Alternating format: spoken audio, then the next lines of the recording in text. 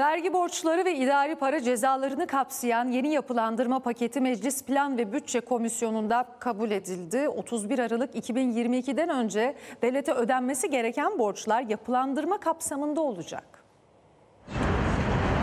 EYT'den sonra sıra devlete olan borçların silinmesine geldi. Vergi affı paketi Plan ve Bütçe Komisyonu'nda kabul edildi. Devlete borcu olanlara bir kez daha yapılandırma şansı geliyor. Vergi sigorta borçları, motorlu taşıtlar vergisi, trafik, nüfus, askerlik cezaları, otoyol ve köprü kaçak geçiş ücretleri, öğrenim kredileri yapılandırma kapsamında.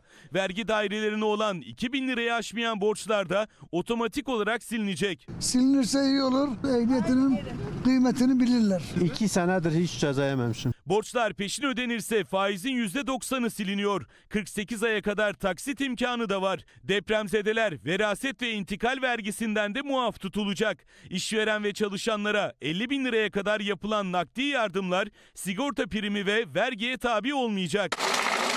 Yeni yapılandırma paketi 31 Aralık 2022 tarihinden önce ödenmesi gereken borçları kapsıyor. Düzenlemenin önümüzdeki hafta genel kurula gelmesi bekleniyor.